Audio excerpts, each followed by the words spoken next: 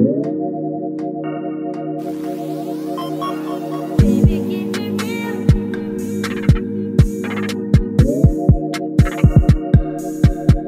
지금 이곳은 영암 F1 서핏이고요.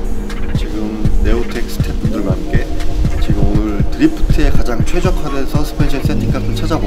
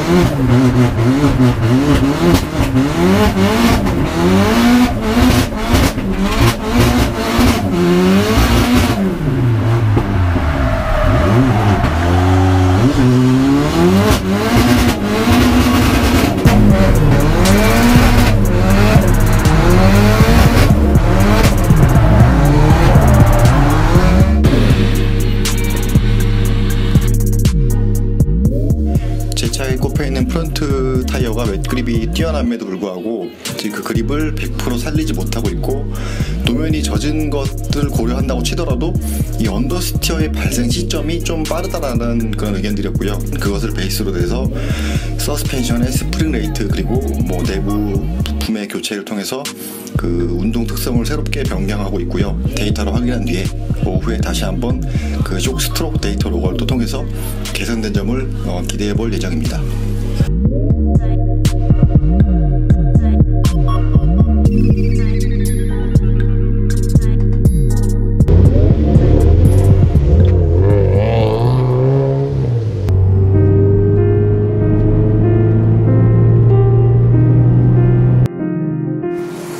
서스펜션 느낌 자체가 지금 원래는 좀 제가 좀 hard하게 맞춰놓은 편이었는데 지금 네오테크 그 호주에서 쇼박스에서 그 브렛 아저씨가 오셔가지고 좀 세팅을 많이 도와주셨는데 좀 더 유한 움직임을 가져갈 수 있게 세팅 자체를 아예 바꿔봤어요. 어쨌든 운전하기 되게 많이 편해졌어요. 많이 편해졌고 지금 당장 노면이 좋지 않아서 뭐 lap time 테스트는 해보지 좋은 기록이 나올 거라고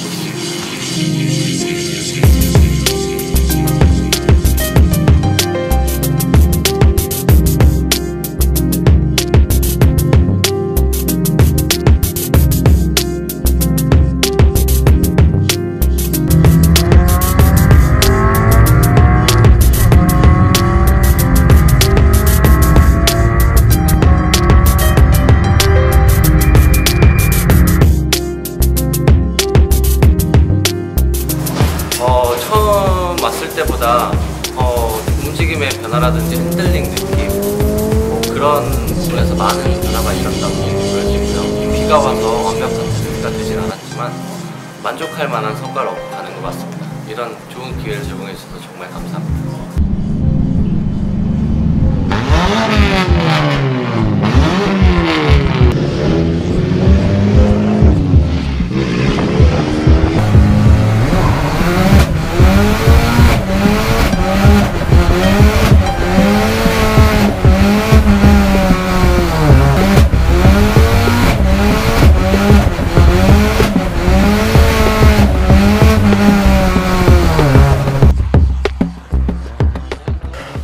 어, 프론트 그립을 살리지 못했고 under가 일찍 발생했던 그런 부분이 지금 완벽히 해결이 된 상태이고요.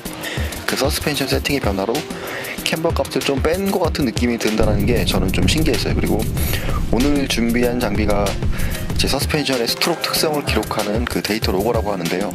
단순히 데이터의 수집에서 끝나는 것이 아니고 현장에서 바로 읽어들인 데이터를 기반해서 그 세팅 값의 변경으로 다시 또 트랙으로 나가서 변화된 값을 그 자리에서 파악이 가능하게 이제 된 것이 주목할 만한 점이라고 보고 있습니다. 서스펜션 세팅 트레일러 있었기에 뭐 가능했던 부분이라고 보고요. 전문 장비 그리고 이제 무엇보다 네오텍과 호주 쇼콕사의 전문 그 서스펜션 기술진들이 현장에서 support를 해주시니까 너무나 효율적으로 그리고 깔끔하게 뭐 일이 진행되었다라고 그렇게